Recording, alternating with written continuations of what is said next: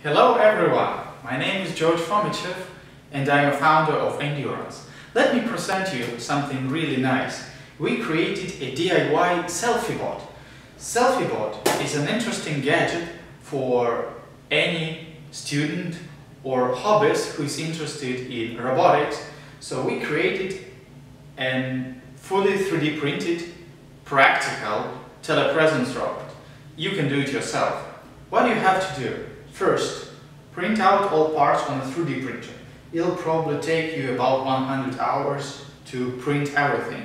Then you have to make a breadboard and install all electronic parts here and then just simply assemble it.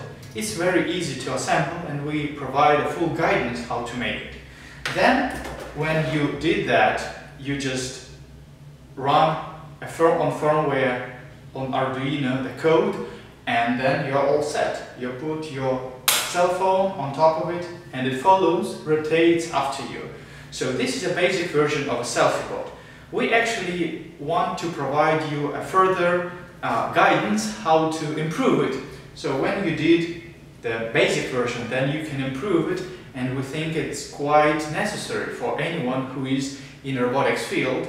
So you just uh, make, you can replace servos with stepper motors, you can add movement sensors, you can even add wireless charger here. So we allow and we encourage and empower everyone who joins this program to do whatever you want.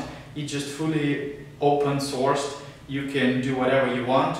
Please share, send us comments. We're happy to provide you and give you some updates. We're looking forward to invite smart and passionate students into our program. We also allow uh, an internship program, remote internship program, where a student can do it themselves.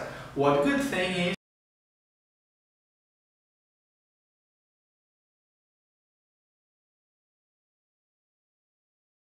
Forty, fifty dollars including shipping costs so it's really really cheap you cannot have a practical robot like DIY selfie bot for that uh, much uh, that amount of money. So we encourage and empower everyone to join this program. Please come share uh, contribute. Let's do something really nice together. Thank you. Bye bye